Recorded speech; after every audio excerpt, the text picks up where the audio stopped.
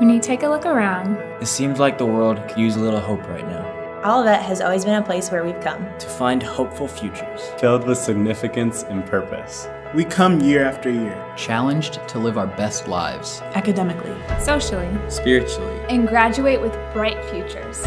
We bring hope to our world through medicine. business, social work, Engineering. teaching. science. Music. ministry. None of this would be possible Without generous support, from you. you You. thousands of students would not be here. Without scholarships. and need based grants. So we're asking for your help. You. You. You, You can give hope. To me. Me. Me. And me. We believe one day One moment. one simple act of generosity. Has the power to make the world brighter. More hopeful. Better. So we're asking you someone who knows the power of the Olivet experience. To join us February 29th for a day of hope. This day is dedicated To bring hope to this world. Through your investment in me Me. Me. and me.